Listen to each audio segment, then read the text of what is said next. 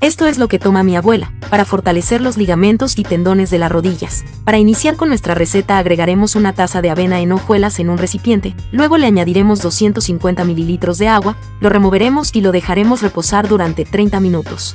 Ahora le retiraremos la cáscara a una piña, después cortaremos la piña en trozos más pequeños para que sea más fácil de licuar, luego agregaremos la piña cortada en la licuadora, después la avena, una cucharadita de canela en polvo, y por último 500 mililitros de agua, y lo dejaremos licuar.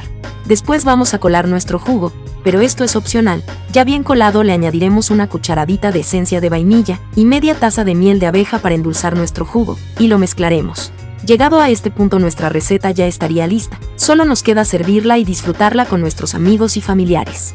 Me gustaría que calificaras esta receta, de 0 a 10, para saber si te gustó el resultado. Amigos espero que les haya gustado mucho la receta de hoy. Les envío un fuerte abrazo, y nos vemos en el